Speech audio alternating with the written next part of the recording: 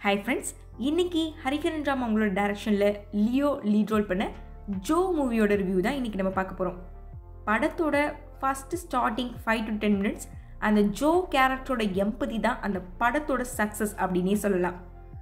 இந்த படத்தோட பிளாட் எப்படி இருக்குது அப்படின்னா அந்த ஜோ கேரக்டரோட லைஃபு ஃப்ரெண்ட்ஸ் லவ் கெரியர் இப்படி தான் கொண்டு போயிருக்காங்க.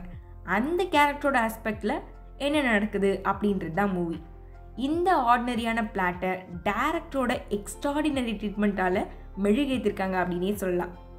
இந்த மூவி மலையாளம் ஃபேமஸான பிரேம மூவியோட நிறைய இன்ஸ்பிரேஷனை நம்மளால் பார்க்க முடிஞ்சுது.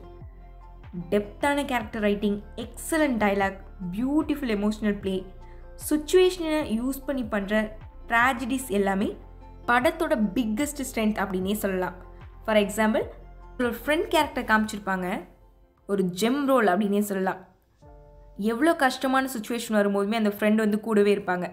அதை பார்க்கும்போது இந்த மாதிரி ஃப்ரெண்ட் நமக்கு இல்லையே அப்படின்ற ஒரு ஃபீல் அங்கே கொடுக்கும். அந்த ஹீரோவோட அம்மா கேரக்டர் காமிச்சிருப்பாங்க. அவங்க ஒரு டைலாக் பேசியிருப்பாங்க. லவ் அட் ஃபஸ்ட் சைட் அப்படின்னு சொல்லிட்டு. பெஸ்ட் அவர் டைலாக் அப்படின்னே சொல்லலாம். பீஜம் ரொம்பவே சோல்ஃபுல்லாக இருந்தது. படத்தை நான் லீனியராக ட்ரீட் பண்ணுறது ஆடியன்ஸ்க்கு ஒரு சின்ன கெஸ் இருந்துக்கிட்டே இருந்தது. அது ஒரு க்ரிப்போடு வச்சுருந்தது அப்படின்னே சொல்லலாம். செகண்ட் ஆஃப் பார்த்தா ஒரு டீசெண்டான ஒரு செகண்ட் ஆஃப் அப்படின்னே சொல்லலாம். அந்த கேரக்டருக்கு மேரேஜ் ஆனதுக்கப்புறமா அந்த காலேஜ் சீன்லாம் வரும்.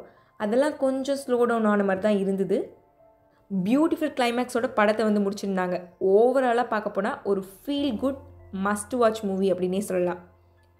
தேட்டரில் நிறைய பேர் மிஸ் பண்ணியிருப்பீங்க ஓடிடியில் அந்த தப்பு பண்ணிடாதீங்க. கண்டிப்பாக பாருங்கள் மஸ்ட் வாட்ச்